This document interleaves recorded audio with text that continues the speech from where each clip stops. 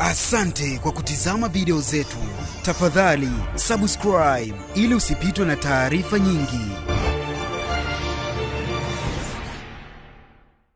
Spika wa Bunge Job Ndugai amesema anayafahamu madai yote yaliyotolewa jana na mkuu wa kambi ya upinzani bungeni Freeman Mbowe na ipo tayari kuzungumza kwa kina na kiongozi huyo wa chama cha upinzani cha Demokrasia na Maendeleo Chadema ili kupata muafaka wa madai hayo.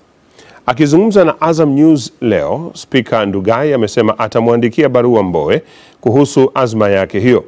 Jana kwenye mkutano wake na waandishi wa habari mjini Dodoma, Mbowe alisema kambi ya upinzani bungeni haitawasilisha hotuba zao za bajeti na nyingine za upinzani hadi watumishi wa sekretarieti yao watakaporejeshwa ambao mikataba yao hutolewa na bunge.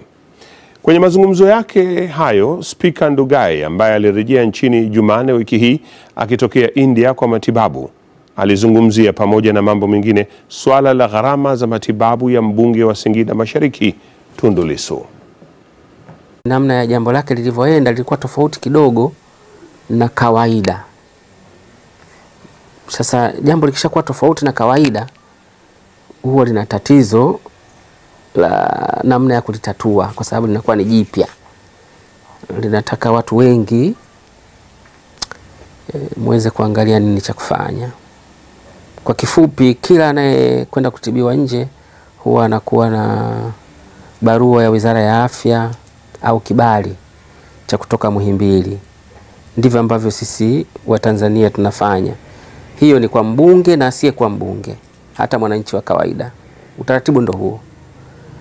Sasa kwa Mheshimiwa Lissu alivyotoka Dodoma, sisi wote tunavyofahamu, alikuwa referred Nairobi, na ndio maana mnaona kwa wabunge wengine wote ambao wanatibiwa kupitia utaratibu huu huwa hawachangiwi hata na bunge lenyewe. Lakini Mheshimiwa Lissu pale pale tulichanga sisi wenyewe wabunge kama wabunge, kwa sababu tulikuwa tunajua ruti hii nyingine ina tatizo, ndio maana ikabidi watu wachange kutoka mfukoni.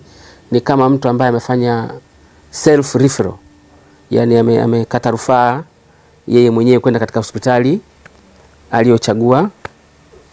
E, kwa maana ile hakuchagua yeye Mheshimiwa Lissu, lakini e, familia yake na chama chake na kadhalika. Kwa hiyo kidogo lina lina halijawahi kutokea jambo kama lile katika bunge letu, lina, lina upya wa aina yake. Sasa upya ule unataka ushirikiano mkubwa kati ya familia na sisi bunge kuweka utaratibu ambao si kwa Mheshimiwa Lissu tu kwa leo, lakini hata kesho na kesho kutwa, basi huo ndio utaratibu ambao utatumika e, siku zijazo. Kwa hiyo bado linafanyiwa kazi, siku ya siku litakuja kutolewa tu maelezo kama linawezekana ama haliwezekani. Unadhani kuna haja kwa wabunge kupewa ulinzi kutokana na haya ambayo yalimkuta Tundu Lissu? Ah, kwa, kwa Dodoma sidhani, kwa sababu pako salama kabisa na pamekuwa salama siku zote. Ni, ni jambo tu lililotokea kipekee. Sidhani kama kuna haja ya ulinzi, lakini niwahakikishie wabunge na wananchi wote kwamba Dodoma ni salama na tu- tumemwomba RPC mara zote wa mkoa wa Dodoma e, kila bunge linapokutana na hata wakati bunge halipo basi ulinzi uimarishwe zaidi, na kwa kweli umeimarishwa sana Dodoma. Hatudhanii kwamba patatokea tukio kama hilo tena e, katika siku za hivi karibuni hata kidogo.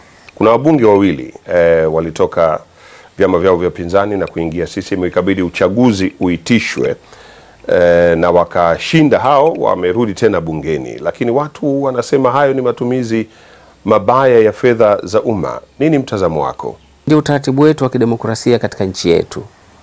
Kwamba nafasi hizi zinagombewa na zinapigiwa kura, na katiba yetu inaruhusu e, kwa mbunge au diwani au mtu mwingine yote mwenye nafasi ya kuchaguliwa kufika mahali yeye mwenyewe akasema ni moja ya njia za kutoka katika nafasi ya uongozi, ama mtu akifariki, ama chama chake kimesema huyu mtu hatoshi tena, ama akijiuzuru yeye mwenyewe. Sasa hili limetokea tokea, e, basi tulipokee na lenyewe, maana haikuwa hivyo siku za nyuma. E, ni moja ya mambo ya kuyatazama kama siku moja kama nchi tutakuja kukaa tuangalie katiba yetu mpya, basi ni moja ya maeneo ya kuyaangalia kama kuna namna nyingine ya kufanya, kwa sababu mm, demokrasia za namna hii zitaendelea tu, mambo haya yataendelea kuwepo. Job Ndugai.